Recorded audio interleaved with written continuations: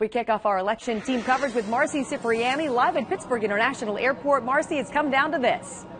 Absolutely, Wendy. And you know, the parking lot here at Pittsburgh International Airport was actually packed late this afternoon with hundreds of Mitt Romney supporters as he arrived here, heading actually to his victory office in Greentree. But when he stepped off the plane and noticed the hundreds of supporters here and heard the crowd, he actually did not go straight to his motorcade and instead walked to the fence that separated him from the crowd to greet and wave to his supporters. I had a chance to talk with some of those who came here just to get a glimpse.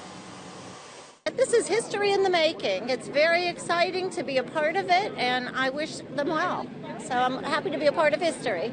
Because now I can say to all my Dutch friends and family, I've seen Mitt Romney for you, and if he's president tomorrow, I can say I've seen the president. So.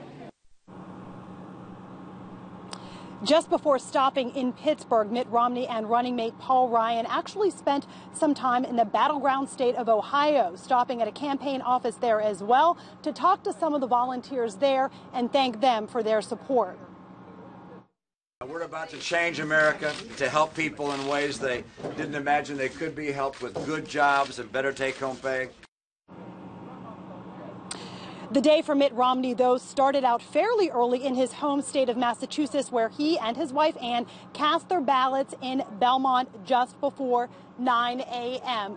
Mitt Romney left here, Pittsburgh International Airport, just a little after 4 o'clock, actually, heading back home. Once again, though, he did not speak here in Pittsburgh, but he did make his way over to the fence and wave to the crowd of supporters that gathered here. For now, reporting live at Pittsburgh International Airport, Marcy Cipriani, Channel 4 Action News.